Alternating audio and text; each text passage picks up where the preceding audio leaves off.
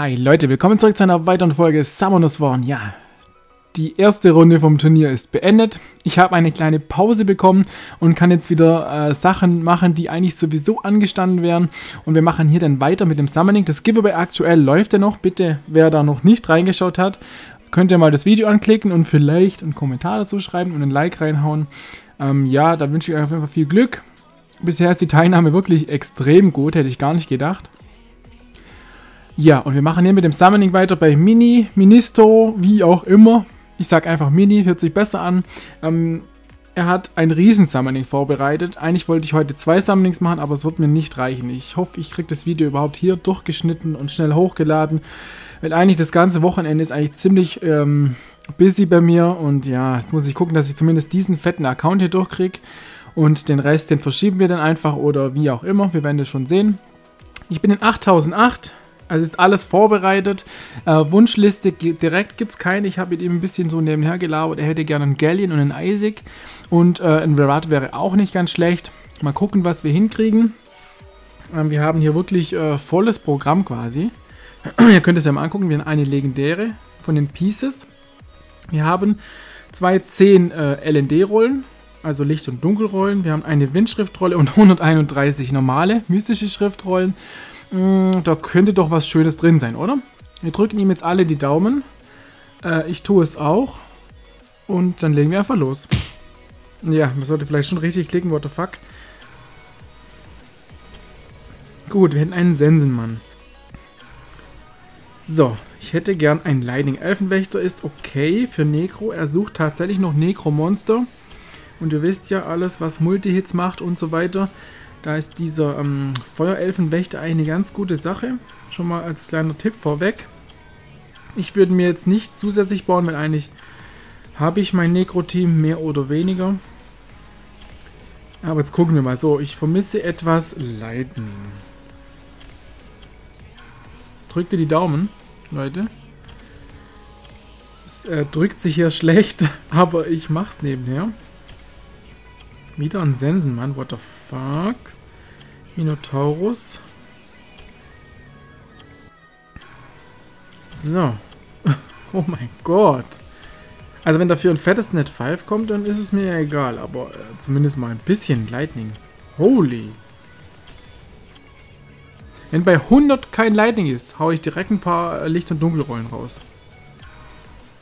Großer Gott. Sind wir bei 30 Rollen ohne Lightning demnächst. Hey, was habe ich dem Spiel eigentlich getan? Jetzt mal ganz ehrlich. Oh, Lightning, okay. Net 5. Das sind auch so Monster. Die will man nicht haben. Leute, drückt doch die Daumen. Das darf doch nicht wahr sein. Ist zwar lächerlich, weil ihr guckt es ja im Nachhinein eigentlich quasi an, aber Schickt mir eure Energie. Schon wieder der Elfenwächter. What? Lightning immerhin. Ein Galleon, in Isaac. Ist es so schwer? Eine Stella. Also gut. So schlecht ist die nicht, aber ich glaube, ich habe die vorhin in der Monsterbox irgendwo gesehen. Ah, doch nicht. Dann war das bei meinem Account, hä? Damn it. Oh mein Gott. Ja gut, solange was aus der LND-Rolle rauskommt ist es mir eigentlich fast egal. Und hier zumindest ein Galleon oder so. Komm. Taki hat doch eigentlich keine Probleme mit Galleons beschwören, oder? Und mit Verats eigentlich auch nicht. Hier war ein Leck drin. Lightning. Ein Leck vorm Lightning. Oh mein Gott.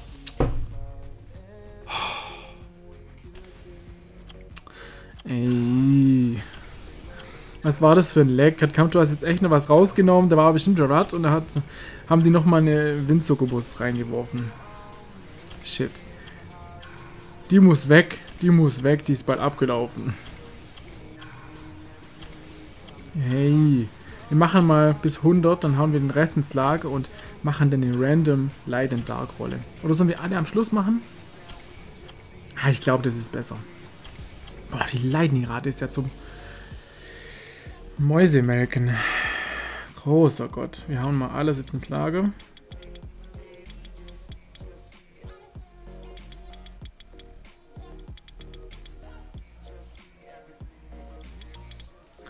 Zweimal Adrian ist auch ganz gut. Also für Negro würde ich den, wenn du noch kein Team hast, würde ich mir den echt bauen, glaube ich. So, jetzt haben wir wieder ein paar Plätzchen frei. Und weiter geht's. Ich bin echt guter, guter Dinge hier eigentlich. Ich habe mich extra beeilt heute mit Heimkommen. Ich war heute in Stuttgart. Habe einen Kumpel nach Stuttgart gefahren, der hat da sein neues Auto abgeholt. Die Fahrt lief eigentlich ganz gut. Zurück waren wir ein bisschen im Stau. Und ja, jetzt ist alles irgendwie heute ein bisschen komisch gelaufen. Da müsste doch das Summoning eigentlich klappen, oder? Und ich habe heute wirklich, was echt komisch ist, kaum Idioten auf der Straße gesehen. Lightning! Nein. Den möchten wir nicht. Das ist eigentlich immer komisch. Also ich hatte einmal einen Transporter vor mir, das war echt krank. So ein, ein Paketdiensttransporter, der ist einfach auf der linken Spur mit 170 gefahren. Und ich dachte mir so, mhm, okay. Wenn der mal wirklich eine Notbremsung, wenn der mal eine Notbremsung machen muss, dann gute Nacht, ey. Ich habe etwas Ab Abstand genommen, dass mich die äh, Teile dann nicht treffen, wenn es da zu einem Crash kommt. ich habe mir das dann von weiter hinten angeschaut, ja. Aber sonst war es echt gut, also hätte ich gar nicht gedacht. Hey, Lightning. Verat, please. Die ist gut, die ist gut, die ist gut, aber jetzt nicht das, was er eigentlich braucht. Verat. No, no, no. Gallion, Isaac, wo seid ihr? Irgendwas mit Wasser wäre doch nicht schlecht, oder? Komm, 8008. Lightning. Lightning. Lightning. Wasser? das Element passt schon. Das Element passt, aber war jetzt nicht ganz das Richtige. Der ist auch ganz cool und lustig, aber keine Priorität. Oh my goodness. Okay, immerhin den Horus. Wenn du den noch nicht hast, GZ. Copper Bulldozer freuen sich. Aber hier, nicht das, was wir wollen. Nicht das, was wir wollen. Komm. Gib dem Mini in fucking Virat. Do it.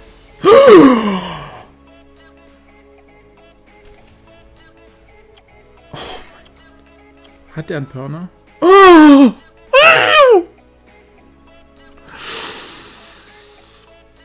Fuck me. Ich dachte schon, ich hatte irgendwie ein Gefühl, der war doch ein Pörner in der Box vorher. Aber jetzt mal ganz ehrlich, Leute. Einen zweiten Pörner will man jetzt vielleicht im ersten Moment nicht haben, aber ich finde es geil. Zwei Pörners kann man immer gebrauchen. Einen wirklich mega tanky bauen und äh, Leute dazu verleiten, ihn anzugreifen und ewig lang zu brauchen, sodass die anderen denjenigen töten und einer, der einfach in deine Angriffsfolge reinpasst und so wie bei mir, mit, zum Beispiel mit Ganymed und Gemini, dann jemanden one-shotten kann. Also ist jetzt echt blöd, aber einen zweiten Pörner, es gibt wirklich Schlimmeres. Also, scheiße. Schreiben die in der Gilde, jawohl, what the fuck. Wissen die das nicht? Oh Gott, nicht super, oh mein Gott. Mein iPad, böses iPad. Bin mal gespannt, was da jetzt als Antwort kommt. Minister hat gerade Phoenix bekommen. Oh, jawohl, Duplikat. So, jetzt kommt bestimmt keine Antwort. Oh, RIP. Oder sowas. Boah, ein Pörner Duplikate. Das ist mir jetzt auch noch nie passiert. Oh. Hm. Oh Mann. Ja, also, jeder, der einen Pörner will, ich kann auch Pörners beschwören. Scheiße. Fuck. Hätte es nicht kein Wesen der Wind sein? Oh Mann. Aber gut, ein zweiten Feuer, Feuerphönix ist nicht so schlecht, wirklich. Ist hier Verat als Ausgleich? Chloe, okay. Naja. das ist doch echt gemein jetzt mal. Mann.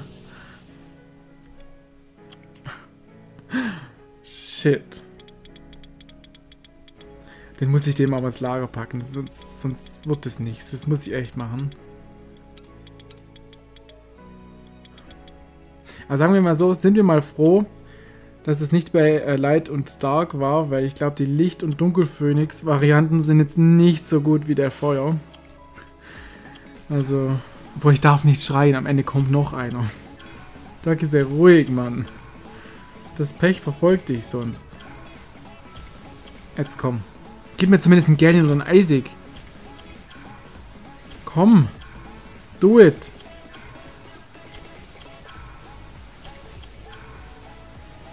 Ich möchte jedoch meinen family-friendly Content beibehalten. Wasser Kung Fu Girl. Die ist gut, die ist gut, die ist nice, die ist wirklich sehr nice.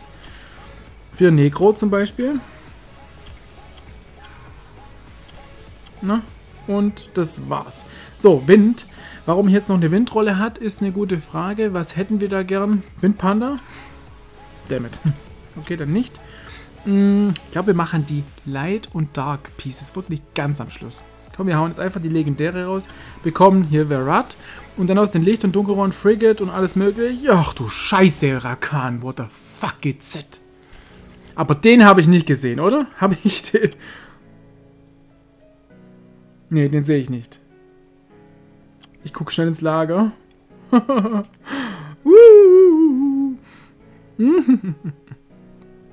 ich sehe kein Verat. Geht's? Hm, auch sweet. Geht so.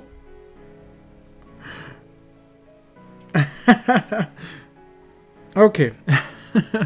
ähm, Rakan, jetzt mal ganz ehrlich, der hat zwar einen kleinen Nerf bekommen, aber der ist immer noch mega gut. Ich verwende ihn nicht mehr ganz so oft, weil er einfach, er schlägt nicht mehr ganz so oft zurück wie früher. Ich glaube, da ist auch ein Shadow Nerf passiert. Dann ist der Damage einfach nicht mehr der alte, ganz klar. Das war der Nerf. Und ähm, ich glaube, ich bin mit meinem Set auch nicht mehr zufrieden. Lebensentzug finde ich nicht mehr so gut auf ihm. Also ich würde ihn tatsächlich, wenn ich könnte und ich hätte gute Gewaltruhen übrig, würde ich ihn wieder Gewalt bauen. Ich glaube, das ist sinnvoller. Ja. Okay, dann, ähm, ich glaube, Net 5 wird jetzt hier keinen rauskommen, aber fuck. Gallin und Eisig kommt hier garantiert nicht raus. Wie wär's mit Frigate? Kurierhai. Zumindest ein Lightning wäre echt nice. Elementar. Sehr gutes Monster, mit dem kann man Fun haben. Marshall Cat. Nein. Da geht gar nichts. Greif. Okay. Kampftänzer. Okay. yes. Hä? Oh, Leute, seid froh, dass ich keine Facecam habe.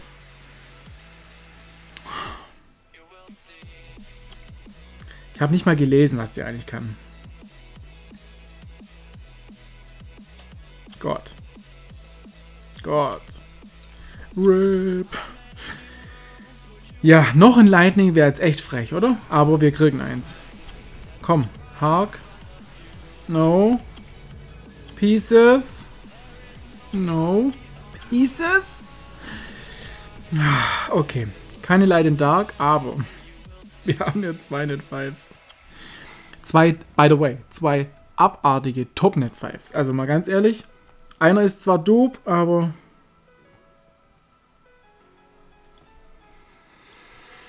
hm, ein kleiner Pörner. Aber ich würde mich eigentlich drüber freuen, jetzt mal ehrlich. Ich muss es mir jetzt gut reden. Ich, wenn ich jetzt einen zweiten Pörner kriegen würde, ich würde ihn auch auf Gewalt machen. Natürlich, Pörner auf Gewalt ist Pflicht. Und Wille Offset ist eigentlich auch Pflicht, weil sonst wird er in der ersten Runde wird ein Pörner gerne gesniped. Aber jetzt ein Pörner mit 40k Life kann eventuell eine Angriffskombi ausnocken, indem einfach zu viel Aufmerksamkeit auf Pörner geht. Und Pörner ist auch ein guter Heiler. Aha. Und Rakan natürlich. What? Ich würde ihn auf Gewalt bauen. Mhm. Bau ihn auf Gewalt. Wenn du die Ruhen hast. Ansonsten, ja, guck, dass die Werte passen. Möglichst viel Crit, viel HP, Speed anpassen. Bisschen Accuracy dabei. Mhm.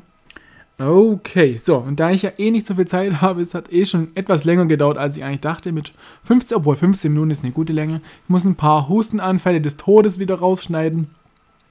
Ja, und GZ nochmal zu den mega fetten Net 5s. Ich werde die jetzt noch ins Lager packen. Im Nachhinein ähm, wünscht euch ein schönes Wochenende. Ihr seht es jetzt am Samstag, also für euch heute. ähm, wir sehen uns am Sonntagabend in der Rush Hour wieder wenn ich mich nicht irre, kommt davor auch noch etwas. Mal gucken, wie es mir da von der Zeit her reicht. Wenn nicht, dann gibt es nur Rush Hour. Dann irgendwann die Tage gibt es noch ein Ankündigungsvideo, wie die ersten Runden gelaufen sind, wie es da weitergeht. wann die nächsten Fights losgehen und so weiter. Also bleibt da auch dran und ja, verfolgt es. Ich denke aber, Heaven wird da sicherlich auch wieder eventuell eine Ankündigung machen, weil er ist ja weiterhin dabei. Da gibt es übrigens noch ein paar Leute, die fragen, wie es jetzt aussieht. Also ich war nur eine kleine Schaueinlage und bin quasi für den einen eingesprungen, werde aber nicht weitermachen, weil ich, ich will einfach die Gruppe jetzt nicht auseinanderreißen. Ähm, Tony hätte sowieso mit Heaven weiter, wäre sowieso weitergekommen, deswegen werde ich da nicht weiter reinfunken. Die zwei kriegen nochmal ihre Chance gegeneinander zu kämpfen. Und der Gewinner geht dann ins Halbfinale, ins, ins Finale dann wahrscheinlich weiter. Ich weiß nicht, wie viel Glück Heaven hat, ob es diesmal wieder so viel Procs gibt, äh, Proclack gibt. Äh, mal gucken. Ja, ähm, und ich wünsche euch was jetzt. Bis zum nächsten Mal.